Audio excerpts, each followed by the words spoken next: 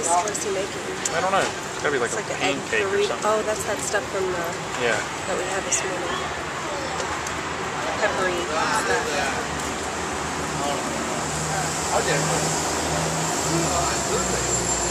Scallions.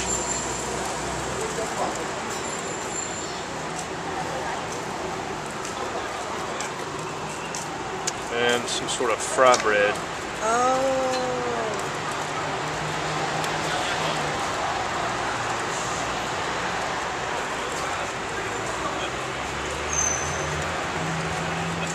Into the bag.